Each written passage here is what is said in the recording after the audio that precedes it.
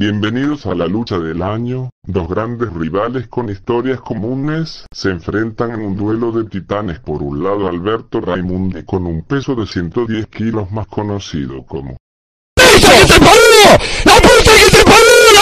y por el otro lado un viejo conocido por sus salvajes patadas a la mandíbula y sus poderosas manos con dedos chuecos como pisada de obeso llega con un peso de 105 kilos Gastón el gato César más conocido por sus frases que dicen ¿Qué es tu club? La concha de tu madre, ¿qué es tu club? Sí, pido disculpas, estoy contando hasta ahí para no caerte trompado. ¿Podrá Alberto Raimundi destronar a la bestia platense? Lo veremos pronto en el evento estelar de esta noche.